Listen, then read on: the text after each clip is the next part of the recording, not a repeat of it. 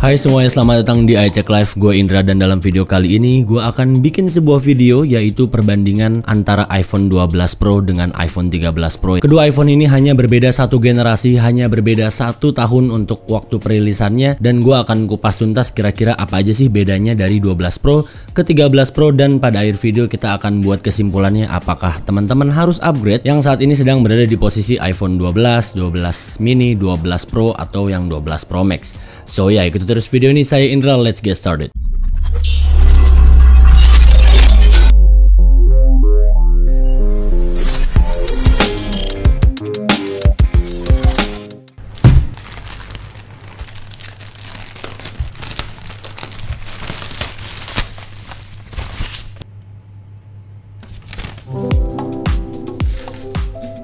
Oke sebelum kita mulai videonya, gua nggak akan pakai iPhone 13 Pro yang ini ya, karena ini adalah iPhone 13 Pro versi Singapura 128GB yang kemarin udah kita pakai untuk bikin video unboxing dan quick review. Dan tadi baru banget nyampe package gua yaitu iPhone 13 Pro juga nih. Ini yang spesial gua pesen dari Hong Kong. Storage-nya lebih besar 256GB dan warnanya Sierra Blue juga. Ya ya ya. Sebelumnya gue bilang kayaknya gue akan pakai warna graphite lagi kayak gini tapi entah kenapa gue bener-bener udah memutuskan pilihan gue untuk pakai Sierra Blue. So ya gimana kalau kita quick unboxing dulu iPhone 13 Pro Sierra Blue untuk region Hong Kong ini dan nanti akan gue jelasin kenapa gue akhirnya pakai yang Hong Kong. Untuk dusnya masih sama kayak kemarin dan di sini terlihat iPhone 13 Pro design by Apple in California. Untuk model ID-nya ZA Sierra Blue 256 GB. Oke, langsung aja lah kita buka kita sobek sealnya di bawah sini. By the way seperti biasa gue orderin dari belanjabos.com. Terima kasih kemarin uh, dari Hong Kong ke Jakarta itu cuma dua harian dan tadi pas nyampe itu dibungkus sama plastiknya si DHL dan kayak ada dokumen-dokumen kayak gitu invoice segala macem dan ya untuk faktur pajak dan totalan sampai sini kalian bisa lihat di layar kalian saat ini. Dan ini untuk 13 Pro Sierra Blue-nya Wow, kenapa ya? Selalu excited sekali kalau baru keluar dari box gitu. Ibarat mobil atau motor baru keluar dari showroom. Ya, untuk Hongkong sama aja ya. Dia cuma dapat kabel lightning dan dokumen paper dan stiker tentunya. Nggak ada perbedaan sama sekali. Nah, yang membedakan untuk versi Hongkong adalah iPhone ini dual SIM. Ya, ya, ya, I know. iPhone yang di Singapura juga dual SIM. Cuman dual SIM-nya itu satu SIM fisik dan satunya lagi adalah eSIM. Sedangkan untuk yang Hongkong version, kalian bisa lihat di sini, kita bisa pakai dua SIM nano sekaligus ini akan sangat amat kepake kalau kalian suka keluar negeri. Karena saat kalian keluar negeri kalian tinggal beli kartu SIM card di negara tersebut. Jadi kalian nggak usah bayar roaming mahal-mahal untuk provider negara asal kalian. Itu yang pertama. Yang kedua adalah kita bisa menggunakan dua WhatsApp sekaligus colok dua kartu dalam satu iPhone. Khususnya untuk teman-teman yang jualan yang punya online shop kalian bisa install WhatsApp bisnis dan WhatsApp yang regulernya dan alasan yang ketiga adalah khusus untuk teman-teman yang punya dua handphone. Di iPhone khusus region Tiongkok atau Hong Kong ini kalian hanya perlu cukup satu iPhone aja karena udah bisa dicolok dua kartu. Dan ya seperti biasa Apple punya kebijakan yang berbeda-beda untuk harga di Apple Store masing-masing tiap negaranya dan kebetulan di Hong Kong itu tax free makanya kebanyakan orang belanja-belanja itu pasti di Hong Kong. Oke, kita buka aja langsung di sini.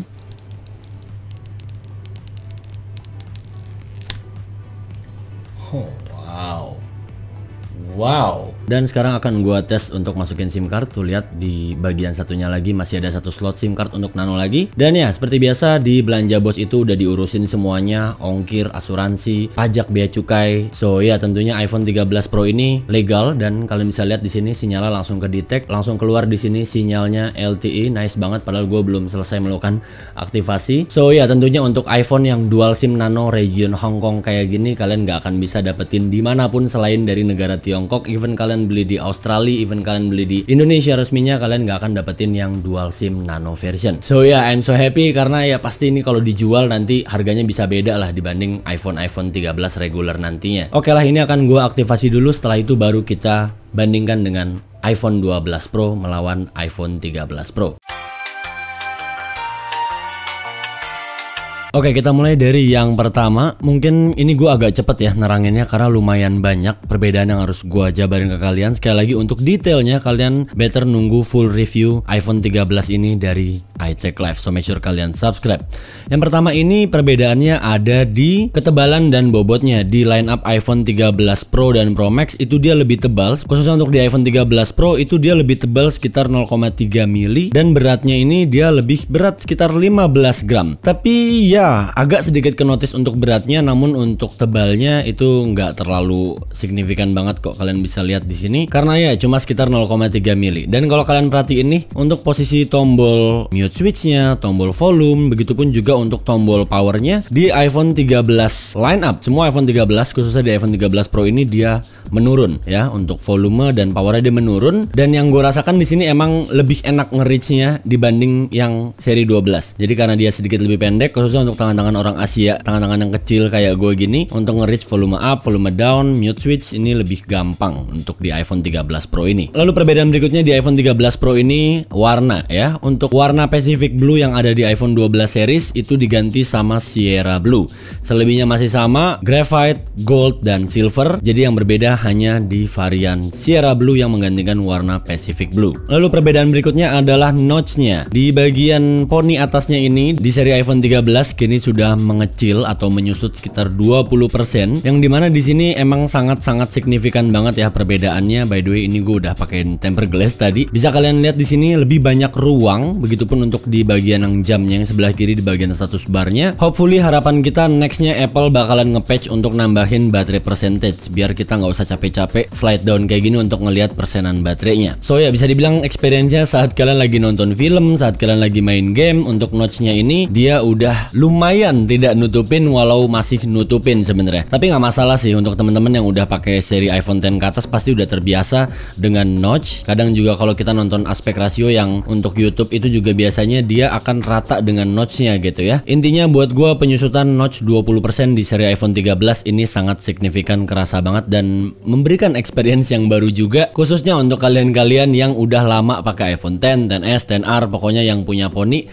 saat kalian pakai iPhone 13 series ini pasti akan berasa banget mengecilnya. Dan setelah notch kalau kalian perhatiin ini untuk true depth kamera sistemnya dia agak berubah ya. Kalau sebelumnya dia kameranya di sebelah kanan, ini di sebelah kiri karena dari rumor yang udah kita bicarakan sebelumnya emang akan ada perubahan desain pada true depth kamera sensornya. Begitupun juga untuk earpiece speaker untuk nelponnya yang di seri 13 dia udah naik bener-bener nempel banget ke bagian bezel iPhone 13 series ini.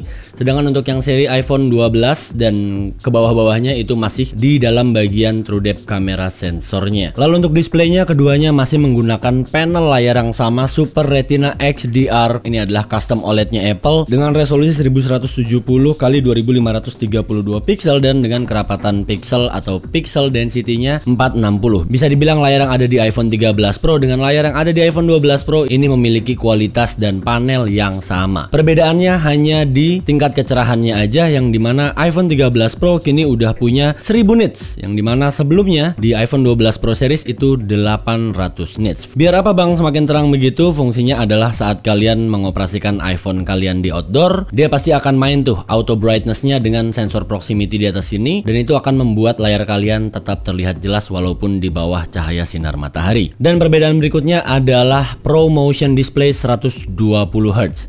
Ini mungkin bisa dibilang feature killer yang ada di iPhone 13 karena fitur ini tentunya udah dinantikan sekali khususnya untuk teman-teman yang suka gaming di iPhone-nya. Surprisingly, gue sebelumnya kayak oke okay, animasi iPhone sebelumnya emang udah halus banget lah mau dari zaman bahela. Ternyata setelah gue nyobain langsung promotion display di iPhone 13 series, itu ternyata malah ngasih experience yang beda banget. Seriously mungkin kalian agak susah ngelihatnya di uh, video gue kali ini karena akan sangat jelas sekali kalau kalian ngelihat dengan mata kalian langsung. Cuman di sini kalau kalian lihat untuk slow motionnya terlihat memang Pro Motion Display 120 Hz refresh rate di iPhone 13 series ini lebih smooth untuk animation saat kita keluar aplikasi, berpindah aplikasi, pokoknya di user interface home screen iPhone-nya. Dan ya entah kenapa ProMotion 120 Hz ini rasanya kayak membuat iPhone 13 Pro series ini kerasa lebih ngebut, rasanya kayak lebih fluid gitu, lebih halus, lebih responsif dibanding yang seri iPhone 12 yang belum punya ProMotion display. Tentunya ProMotion display ini akan sangat berasa sekali pada saat kalian gaming di iPhone 13 Pro. Rasanya tuh kayak over FPS gitu, kayak FPS-nya ketinggian saking alusnya jadi bener-bener smooth banget. Memang bener-bener sebuah nilai plus untuk para gamers bisa menikmati game dengan refresh rate 120 Hz. Ya walaupun telat untuk hadir di iPhone, cuman ya gue seneng banget dan akhirnya diimplementasikan juga di layar iPhone 13 Pro series. Dan ngomong-ngomong soal gaming, untuk prosesor juga tentunya beda ya di iPhone 13 series ini dia pakai A15 Bionic 5 nanometer dengan spek 5 GPU. Walaupun cuma berbeda satu tingkat dari seri iPhone 12 Pro yang pakai A14 Bionic, tapi setelah gue pakai iPhone 13 Pro ini bener-bener kerasa banget peningkatan performanya khususnya pada saat gua tes render dan ya tentunya karena tadi didukung oleh ProMotion Display 120Hz rasanya membuat iPhone 13 Pro ini bener-bener berbeda untuk feel-nya dengan seri iPhone 12 Pro. Kalau kita lihat dari skor benchmarknya juga cukup signifikan untuk peningkatannya antara 13 Pro dan 12 Pro. Of course karena chipset yang digunakan di iPhone 13 Pro lebih baru dan pastinya nanti akan lebih long last untuk mengikuti update-update iOS-nya Apple. At least ini bisa setahun atau dua tahun lebih long last dibanding yang seri iPhone 12. Dan kalau mau bandingin head to head gaming dengan iPhone 12 Pro, 12 Pro ini aja udah kenceng banget sebenarnya. Jadi udah auto libas rata kanan dengan A14 Bionicnya iPhone 12 Pro, apalagi dengan A15 Bionicnya iPhone 13. Lalu untuk RAM-nya lagi-lagi lagi-lagi lagi-lagi tidak ada peningkatan di iPhone 13 series. RAM-nya ini sama-sama 6 GB untuk semua varian storage-nya. 6 GB itu RAM apa flash disk. Dan tahun ini di iPhone 13 series juga ada perubahan untuk varian storage-nya. Kita nggak akan bahas yang base model mungkin di next video, cuman untuk yang pro model dia ada satu varian terbaru yaitu 1 TB. Jadi opsinya ada 128, 256, 512 dan 1 TB. Lalu perbedaan iPhone yang paling menonjol untuk tahun ini ada di kamera sistemnya. Bisa terlihat di sini untuk triple kamera sistem di Pro Line Up seri 13 dengan seri 12 ini berbeda sekali ukurannya sangat-sangat berbeda, totally different dan apalagi untuk yang diagonal 6,1 inch ini benar-benar terlihat lebih cebol ya karena ininya kegedean. Begitupun juga sama kamera bumnya. Kalau kalian lihat di sini di seri 13 ini kamera bumnya lebih nonjol. Untuk spek megapikselnya triple kamera lens dari masing-masing seri iPhone ini masih sama-sama pakai 12 megapiksel rata untuk ketiga lensnya. Tapi di iPhone 13 Pro kalau kalian lihat untuk speknya di sini, kalian perhatiin untuk yang di lensa ultra wide dan lensa tele, dia itu punya bukaan lensa yang lebih lebih besar dibanding iPhone 12 series di mana untuk lensa ultrawide dia f-nya itu 1.8 sedangkan untuk lensa telefoto dia 2.8. Tentunya bukan lensa yang lebih besar akan memberikan banyak cahaya yang masuk. So performa lensa telefoto dan ultrawide di iPhone 13 untuk pengambilan low light atau minim cahaya pastinya akan jauh lebih baik mau foto ataupun video. Selain itu juga Apple nge-improve untuk lensa telefotonya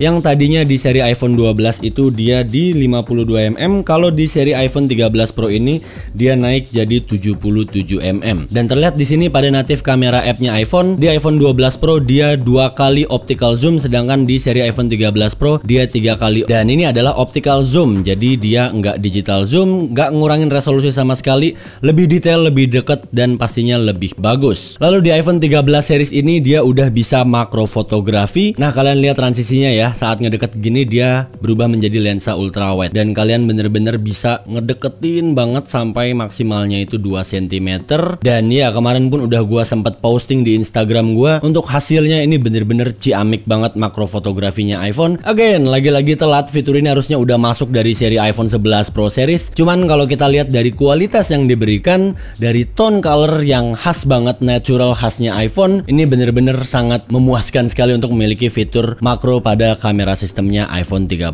Pro ini. Lalu di iPhone 13 series juga kalian akan mendapatkan fitur yang namanya fotografi style ini ibaratnya kayak filter sih kayak ngeganti-ganti tema. Tuh ada vibrant ada rich contrast dan ada standard. Ini adalah template-template efeknya si Apple. Kita juga bisa atur di sini untuk warmnya dan tone colornya sesuai yang kita inginkan. Dan terakhir adalah cinematic mode yang menurut gue fitur ini adalah fitur killernya yang cuma bisa kalian dapetin di seri iPhone 13 yang membuat iPhone 12 Pro ini menjadi seperti tidak berdaya untuk melawan kamera upgrade-nya di seri iPhone 13 ini ini. Ya kemarin akhirnya gue coba di outdoor untuk cinematic modes ini dan itu bisa kamera depan ya by the way kemarin gue tes pakai kamera depan sama teman-teman gue dan itu ternyata hasilnya jauh-jauh lebih keren. Apalagi kalau pakai kamera belakang di outdoor pasti akan lebih keren lagi. Kemarin pun juga gue ada kerjaan untuk datang ke eventnya Bank Mandiri dan itu gue berangkat event itu cuma bawa iPhone ini aja tok untuk ngambil gambar, untuk ngambil sinematik, untuk keperluan dokumentasi dan overall gue puas banget. Rasanya bener-bener dengan satu ini aja yang muat di kantong itu bisa ngehandle semuanya. Gua ambil foto, ambil video dan editing videonya juga di sini. Gak perlu bawa kamera yang gede-gede, bawa tas segala macem. Cuma perlu satu iPhone aja dan hasilnya bener-bener flawless banget buat gua. Dan oh ya kita juga bisa ngedit untuk fokusnya itu mau di timing saat kapan. Misalnya saat ini fokusnya lagi ke teman gue yang di belakang nih. Gue pengen fokusnya ke gua di sini. Nah tinggal di tap aja udah. Ntar kita ulang. Kita bisa lihat di sini fokusnya tetap ngunci di gua.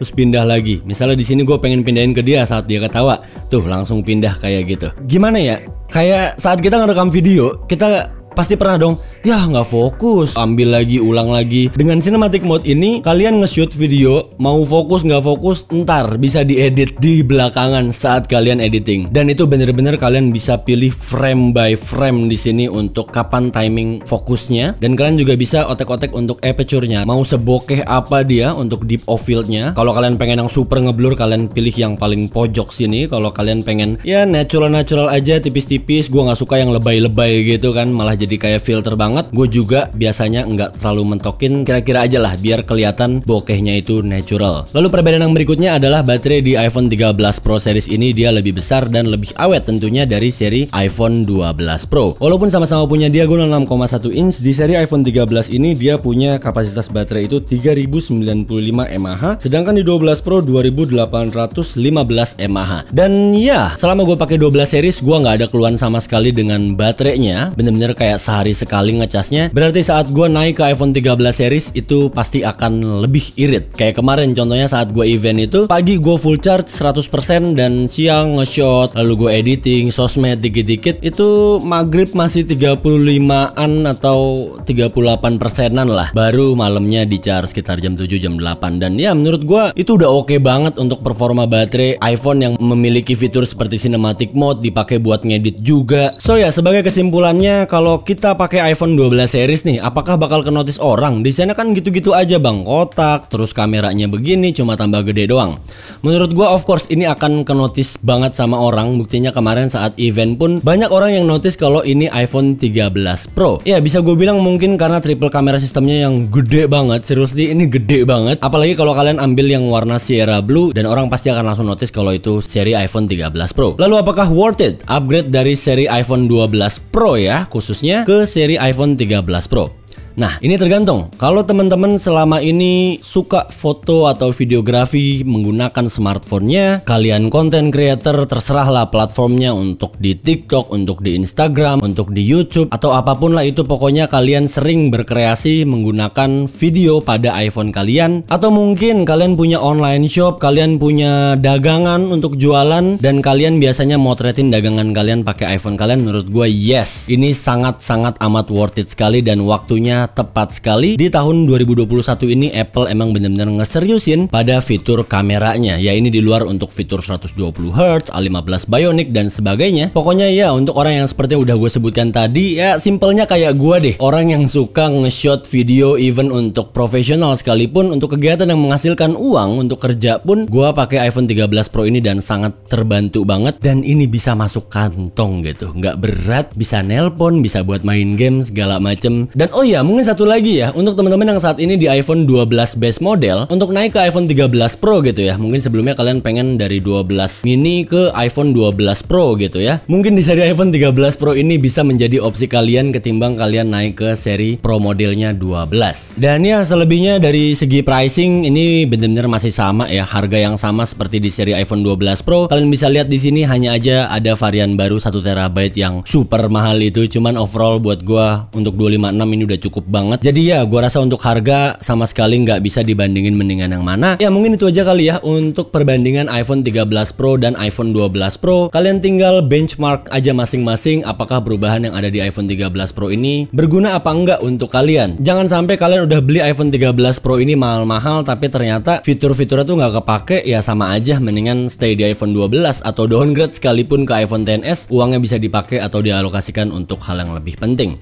So intinya adalah pilih smartphone dengan bijak, tentunya dengan melihat kembali dari apa yang kita perlukan sehingga dari situ kita benar-benar bisa memaksimalkan fungsi dan fitur-fitur dari seri smartphone itu sendiri. So ya, terima kasih untuk kalian yang sudah menonton sampai detik ini. Semoga bisa mencerahkan kalian yang mau nambahin perbedaannya mungkin gua ada yang kelewat silahkan komentar di bawah atau kalian juga boleh komentar kira-kira kalian mau upgrade atau enggak nih kalau kalian saat ini lagi di seri iPhone 12 yang base model atau yang pro model. Dan sekali lagi terima kasih untuk belanjabos.com untuk kalian yang pengen belanja belanja gadget atau barang-barang elektronik di luar negeri silahkan cek di websitenya belanjabos.com atau kalian juga bisa cek ke Instagramnya di sini karena belanjabos.com adalah just pertama di Indonesia yang bisa masukin barang-barang atau elektronik legal lengkap dengan dokumen-dokumen, asuransi, ongkir segala macam udah diurusin dan gue udah sertakan link info selengkapnya di description. So yeah, thank you guys for watching. Please like, comment, and share this video and I'll catch you guys on the next video. Saya Indra, until next time.